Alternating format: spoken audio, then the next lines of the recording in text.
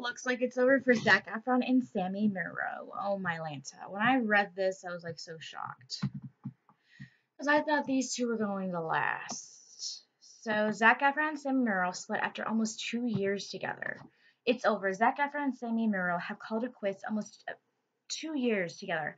A source exclusively confirms U.S. Weekly. The High School Musical Lumen model, both 28, first stepped out together in October 2014.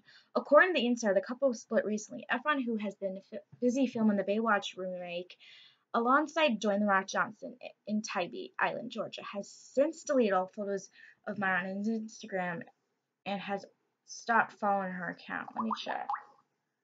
I'm going to check. Murrah, who attended Co- Coachella in Indio, California, Sands Efron last week and first spoke about the relationship during a March 2015 interview with Elle.com. I've never spoken about us before, but um, it's definitely different.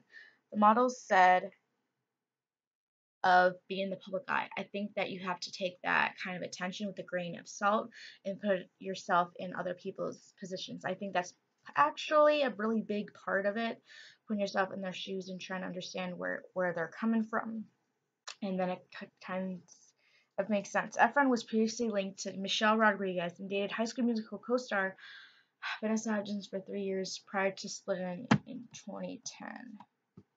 So I'm going to Google, not Google, Zac Efron. So let's see, because I want to see what he deleted. Holy cow. He deleted everything. Oh my god, he did. Okay, I'm look up Sami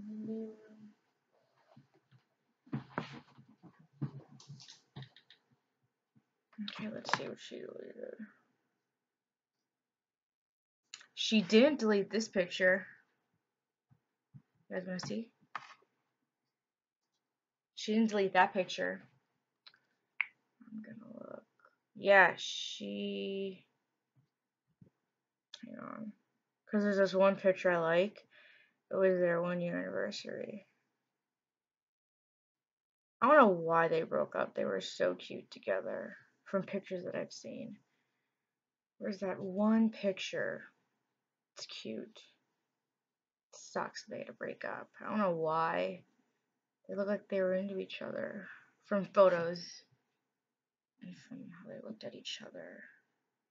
Oh, where is it? Did she delete it? I'll be mad. Okay.